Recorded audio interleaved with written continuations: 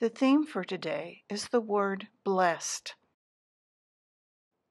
We hear the word blessed so often these days that I wonder if it has lost some of its meaning. Today, it seems like it is associated with financial success or an easy and pleasant life. It's kind of like saying, I hope nothing bad ever happens to you.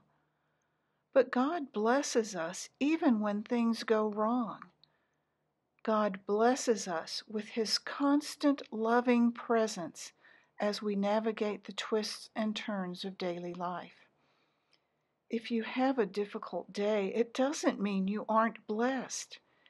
It means that the day was difficult, but that God walked through it with you. When blessing is uncoupled from pleasantness and success, Perhaps it frees us to be more aware of the hope and joy that God continues to bless us with. Know that you are blessed all the time, no matter what kind of day you are having.